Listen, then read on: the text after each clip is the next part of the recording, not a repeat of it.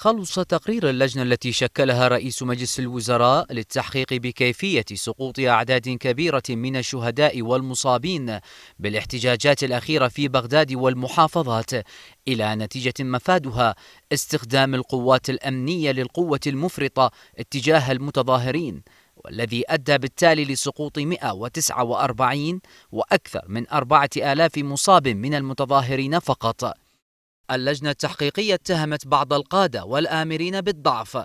الأمر الذي أدى إلى حدوث فوضى وإرباك وعدم سيطرة على الرمي.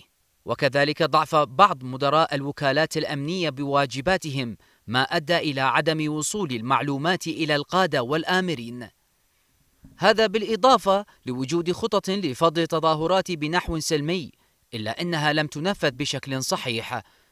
كذلك قلة القطاعات المخصصة لمكافحة الشغب من قوات وزارتي الدفاع والداخلية.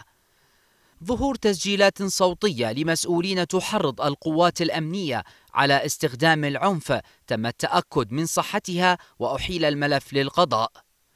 قيام القوات الأمنية بتحديد حركة المتظاهرين أثر بنحو عكسي على التظاهر وعلى عمل القوات الأمنية. عدم اتخاذ الإجراءات اللازمة لنصب كاميرات المراقبة في الساحات والمدن. كذلك اللجنة وصلت إلى حقائق قام بها المتظاهرون منها. قيام البعض بحرق عدد من مؤسسات الدولة قاد حمايتها لفتح النار. وحمل بعض المتظاهرين لقنابل المولوتوف ورميها باتجاه القوات الأمنية. الاعتداء على القوات الأمنية ومؤسسات الدولة من قبل بعض الذين أرادوا تحريف التظاهرات عن سلميتها. كذلك عدم الالتزام بقرار حظر التجوال ما جعل المتظاهرين يتجمعون ضمن مناطقهم.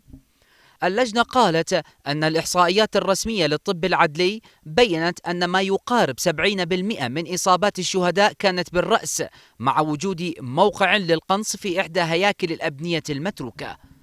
كما أشرت الغياب الواضح للحكومات المحلية وترك القوات الأمنية تواجه الأحداث طيلة التظاهرات وعدم قيام هيئة الإعلام باتخاذ إجراءات ضد القنوات الفضائية ومواقع التواصل الاجتماعي المحرضة.